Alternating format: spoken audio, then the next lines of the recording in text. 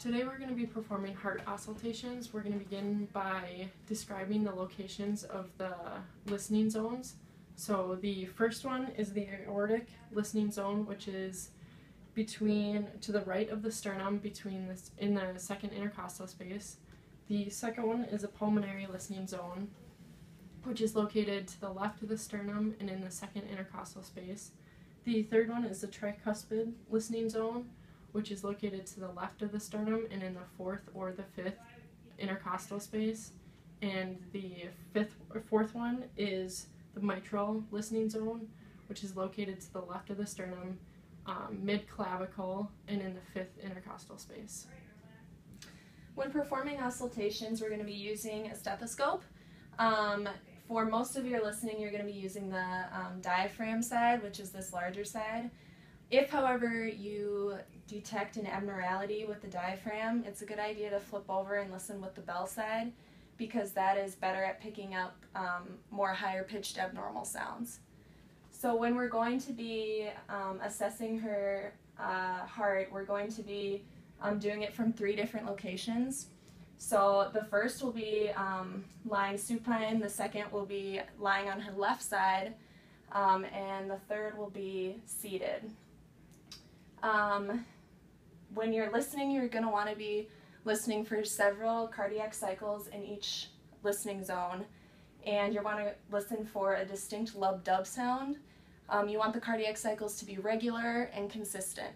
So basically you're listening for anything that doesn't sound like those, which would indicate that they might have a possible cardiac pathology. So we're going to start by having her lie supine on the table.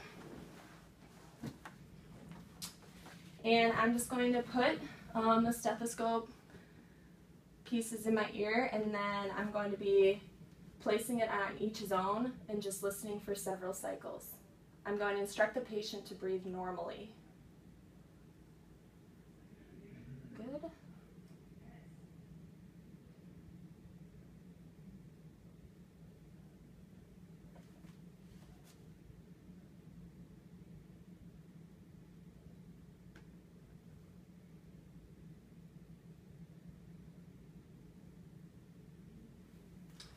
Good. Next, I'm going to be instructing the patient to lie on her left side. She'll lay on the left with her arm up, supporting her um, in that position, and then I'll go through and listen to um, the listening zones in this position as well.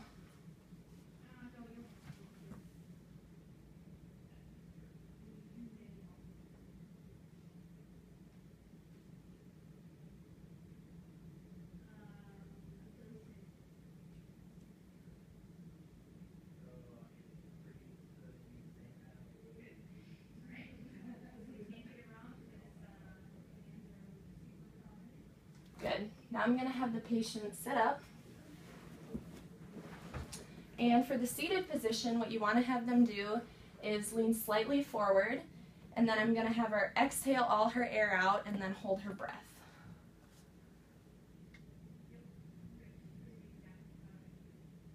You're going to listen to one location, and then stop, let her breathe again.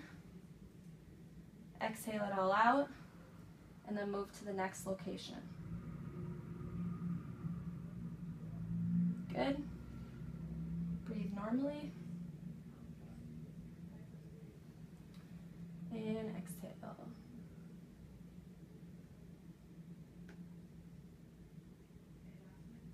Good. Breathe normally. And exhale.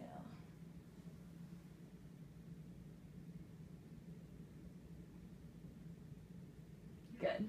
Now I'm going to go through and test the locations again with her again leaning, leaning forward and holding her breath, but I'm going to I'm to add the Valsalva, Valsalva maneuver and have her bear down um, while doing those other two. And what that does is it um, it tests for a possible valve prolapse. So if you hear a clicking with that, that could be indicative of a valve prolapse and you'd want to send her in for um, additional medical testing. So we're to try that. Lean forward, exhale, and bear down. Good. and I would continue on and do that with all the other three locations. That is how you essentially perform cardiac auscultations.